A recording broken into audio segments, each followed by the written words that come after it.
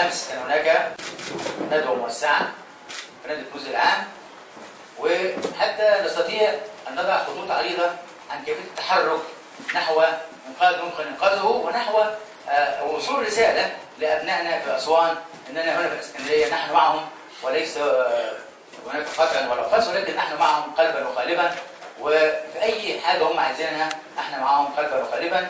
بصرف النظر عن أي شيء. اتهامات باطلة لا تمت لنا بصفة ولا بصلة كانت بعيدة أو قريبة أو بدون ذكرها نحن ليسنا في حاجة للدفاع عن أنفسنا فتاريخنا وحضارتنا وعاداتنا وأخلاقنا تدافع عن نفسنا آه، شئنا أم أبينا.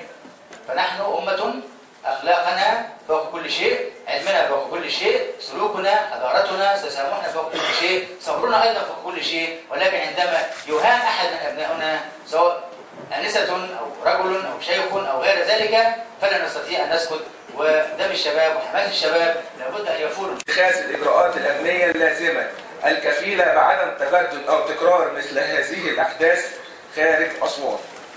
إخلاء محافظة أسوان بصفة عامة والمنطقة المعنية على وجه الخصوص بصفة عاجلة من كافة أنواع الأسلحة بما فيها المرخصة.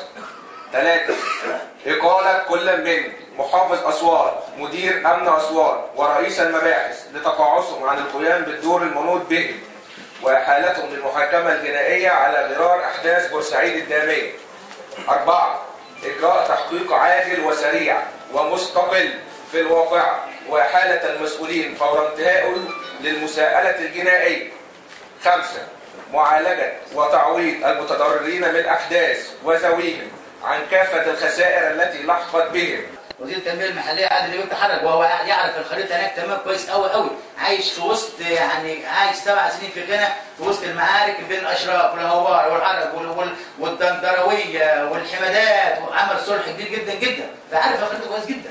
رغم كده ما حدش عامل حساب كل ده.